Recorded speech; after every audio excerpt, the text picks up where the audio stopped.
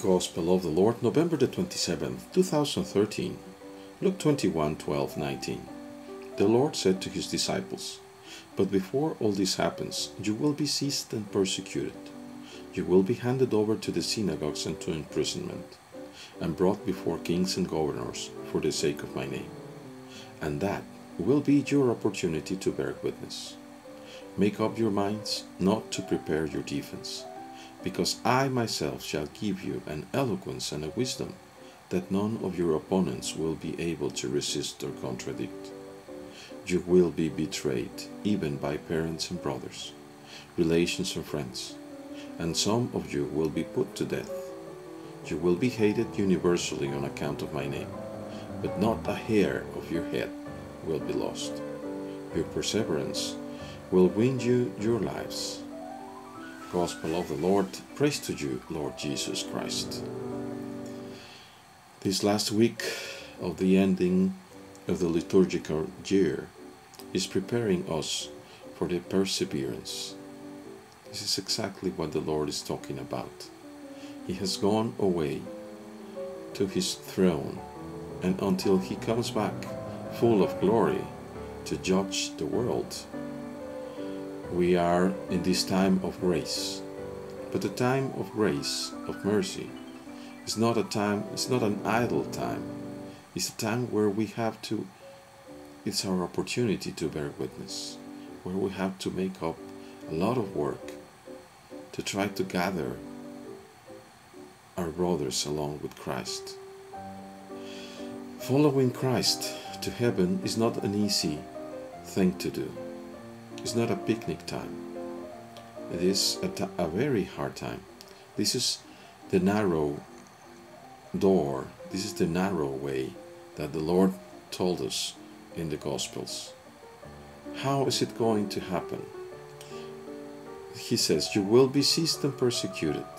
You will be handed over to synagogues and imprisonment, brought before kings and governors for the sake of my name. Being handed over to the synagogues was the same as being handed over to imprisonment to those who hated Jesus, who, who rejected him. And he says that will be your opportunity to bear witness, just as Jesus bore witness of God, his Father, our Father, on the cross, and through those three times of judging that he had to go through. Three times where he was unlawfully condemned, totally against reason and against truthfulness and against love. Just for the hatred of God, he was condemned. The Lord says, Make up your minds not to prepare your defense. This is so beautiful. I myself shall give you an eloquence and a wisdom that none of your opponents will be able to resist. The Lord will be coming along with us, even though we do not see him.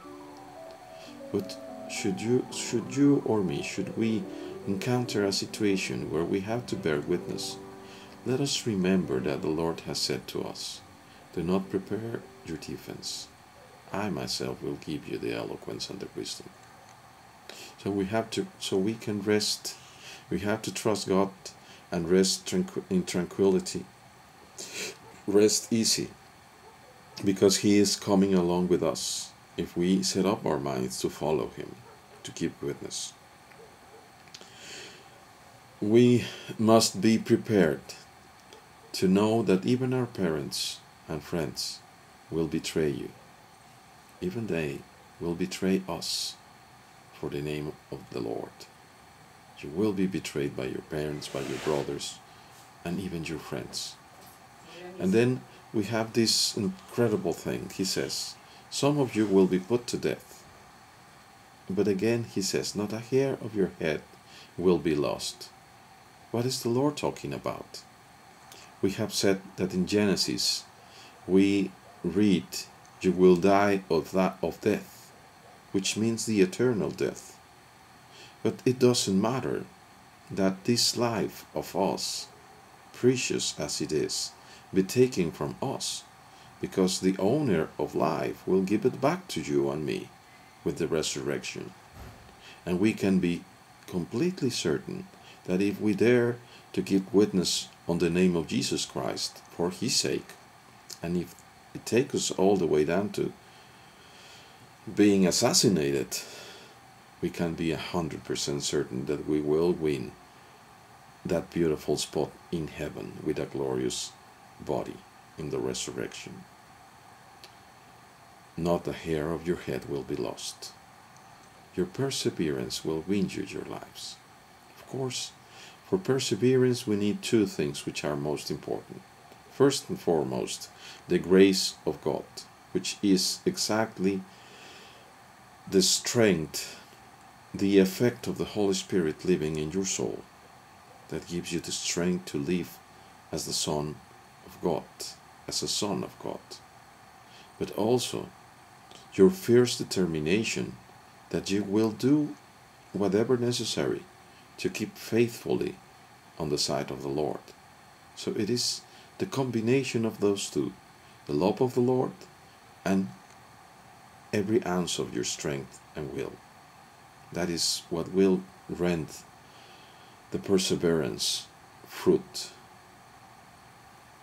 May we have a fruitful life and may we all find ourselves persevering till the end. May the Lord Almighty in his, in his mercifulness and love make us do it and help us accomplish it. God bless you all, brothers.